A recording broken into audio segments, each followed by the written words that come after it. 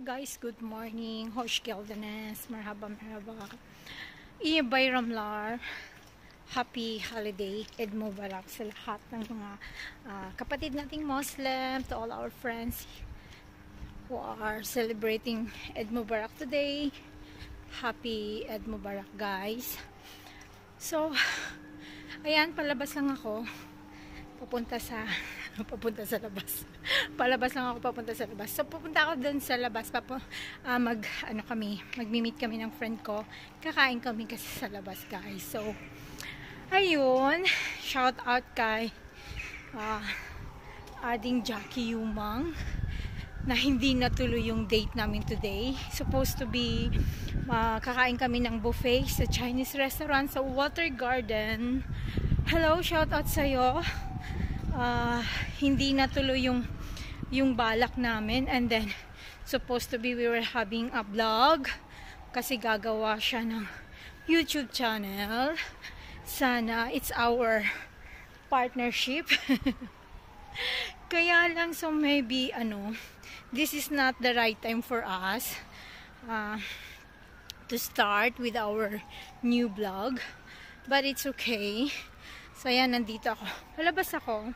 Kasi imimit ko lang yung friend ko. So, um, medyo, I'm sad.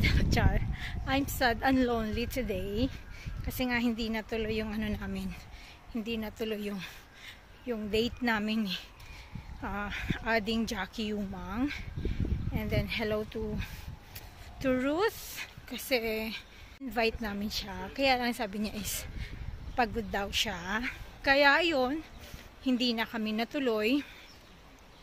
Kaya ang nangyari is, uh, syempre bored ako sa bahay.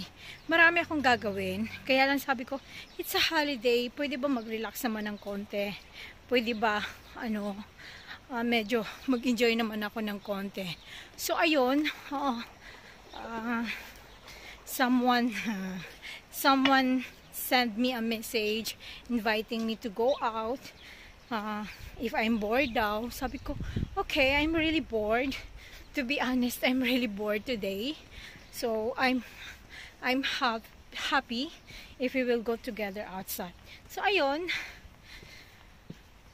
This is it, pansit. So, ayun.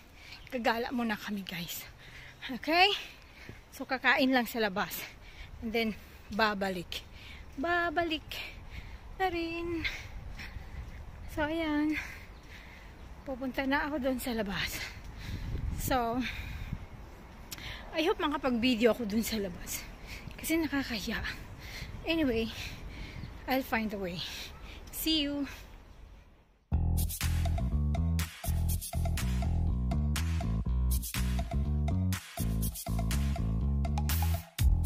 You show up